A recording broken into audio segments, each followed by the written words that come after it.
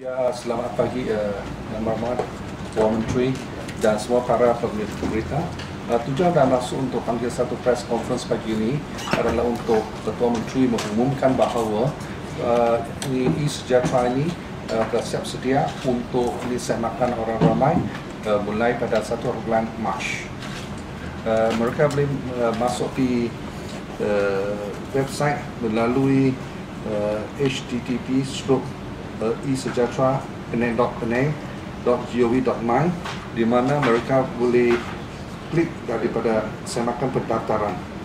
Uh, daripada sana mereka boleh uh, masukkan nombor IC baru dan lama dan uh, top up dan ada apa masalah-masalah boleh uh, apabila mereka cek dan jika ada apa masalah mereka uh, digalakkan bahawa berhubung dengan pusat perkhidmatan PR yang terdekat.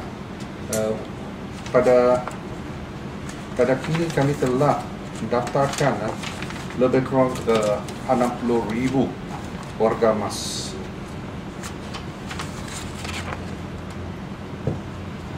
enam puluh dua ribu dan uh, kalau mengikut daerah-daerah yang paling banyak sekali adalah di daerah Timur Laut uh, yang kedua adalah seberang Perak Utara. Ini dua ada ini daerah yang paling banyak sekali. Uh, pendaftaran ini akan berhenti pada 8 hari bulan Mac jam pukul 5 petang dan uh, selepas itu uh, kami akan semak semua dan untuk siap sedia untuk penagihan kewangan RM100 uh, uh, yang tarik akan diumum oleh Ketua Menteri dan uh, kami berharap bahawa program ini semua warga mas dapat mengakhirkan kewangan mereka sebelum ini pertengahan bulan April. We are expecting a last minute rush because uh, during the Chinese New Year we have been hit, we have receiving a lot of phone calls regarding this Warkamas.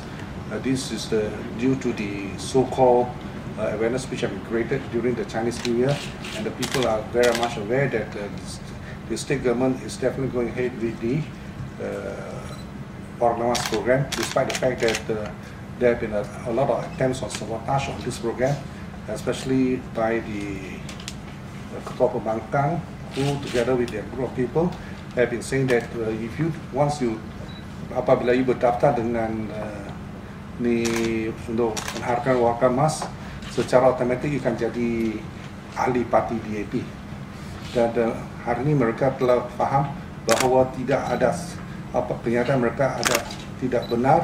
Dan uh, oleh mungkin mereka pagi ni untuk ni dua minggu telah menghubungi pejabat-pejabat uh, adun PR untuk mendaftar. Saya telah ada membuat ini laporan polis terhadap uh, pernyataan uh, Zaha yang telah mengatakan bahawa apabila mereka sesiapa yang mendaftar mendaftar uh, dengan uh, penhargaan warga emas secara otomatik mereka akan jadi uh, di ahli DAP daripada 11 uh, adun pembangkang haknya seorang saja yang ambil bahagian dalam uh, ni kempen ini. Itu iaitu adalah ni Dato yang berhormat Dato Arif Shah daripada Seberang Jaya walaupun dia sendiri pada satu masa pun telah membuat kenyataan serupa dengan ketua ini pembangkang uh, negeri Pulau Pinang.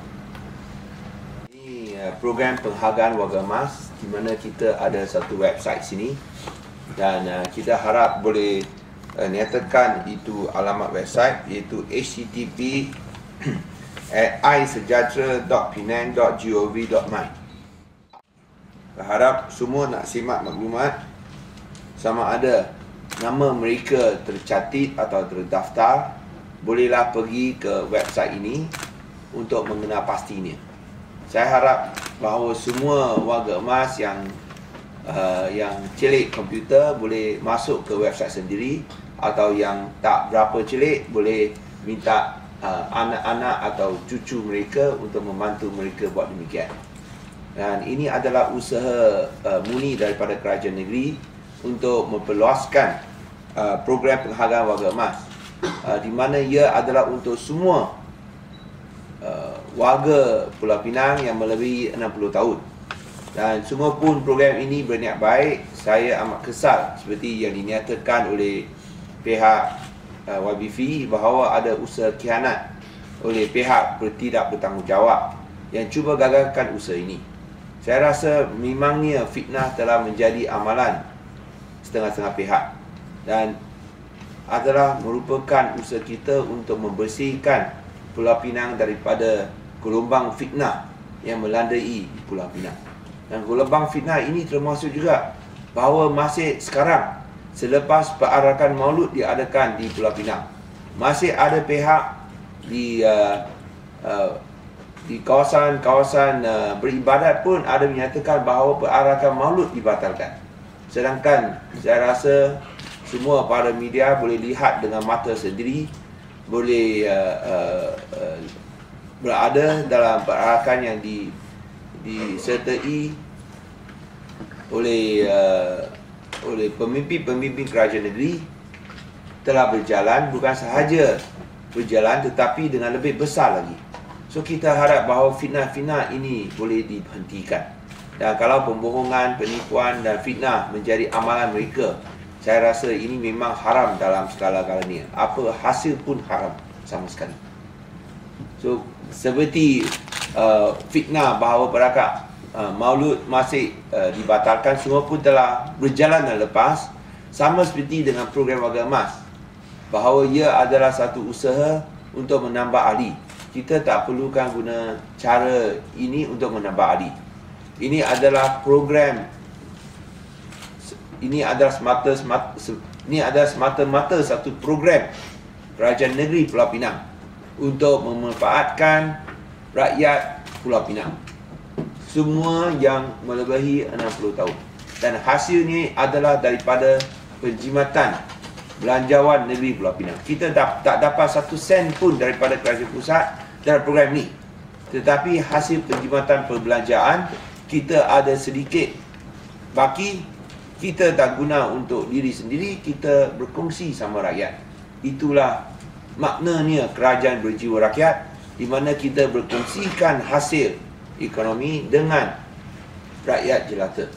Oleh sebab itu kita harap tentulah rakyat ada pilihan mau tak mau 100 ringgit wang tunai ini setahun.